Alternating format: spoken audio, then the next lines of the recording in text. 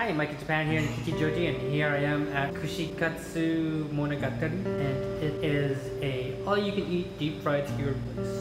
So come join me as we head in there and try out the dinner. So here we got the food. It's mostly self-serve. It's all written in Japanese with smaller English translations on the bottom of the label.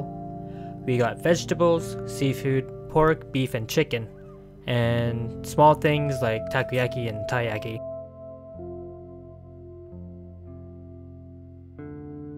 Next, we got the sauces. They have a variety of sauces from sweet, spicy, and sour sauces depending on your mood. Next to that is a rice cooker if you want to eat rice with the deep fried goodies, and they have a variety of soups as well.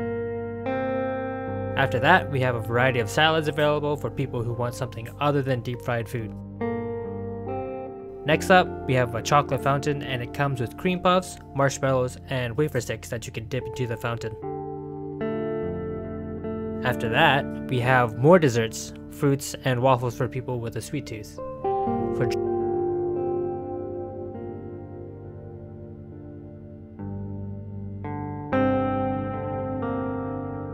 For drinks, they have a regular fountain. Most importantly, they have a self-serve bubble tea area for, for those who want to get their boba on.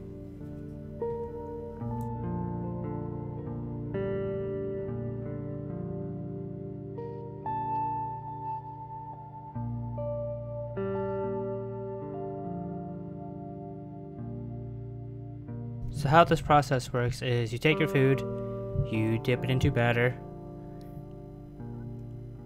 and then you put it into the breadcrumbs that they provide, and then you just dunk it into the oil that's in the middle of the table.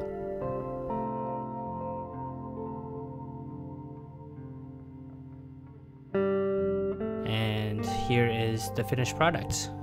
And you take that, you dip it into your sauce of preference, and you eat it. Om nom nom nom.